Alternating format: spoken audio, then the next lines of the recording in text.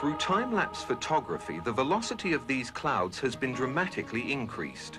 While they were actually drifting over the mountains at approximately 27 miles per hour, they now have the appearance of moving at well over 100, four times their normal speed. If the clouds were stationary and the Earth was revolving underneath them, this is how it would appear if the Earth was spinning at 100 miles per hour. Yet we're told that the Earth is spinning at 10 times that speed. Consider this. Those who maintain that the Earth is a globe that spins suggest that people standing at the equator are being whirled around at approximately 1,000 miles an hour.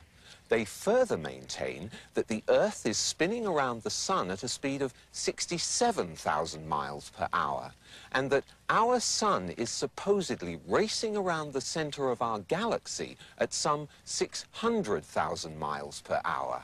And yet, you and I both know that on many days it's possible to stand outside without a single hair being messed up by the breeze.